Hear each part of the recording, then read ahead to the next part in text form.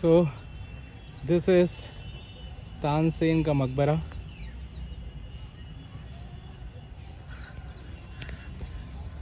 अंदर हम जा नहीं सकते क्योंकि अलाउ नहीं है। सर ने हमें इतने ही तक अलाउ कर दिया वही काफ़ी है। सो so, यहीं पर तानसेन को दफनाया गया है। काफ़ी सुंदर बनाया गया है ये। तो अगर आप ग्वालियर आते हो तो this is one of the famous place in Gwalior तो please do visit this place this is Tansen का मकबरा और ये काफ़ी मतलब कंजस्टेड एरिया में है तो आपको सजेस्ट करूँगा कि आप बाइक से हो या पैदल ही हो यहाँ पर। so, एक बार आप फिर से व्यू देख लो।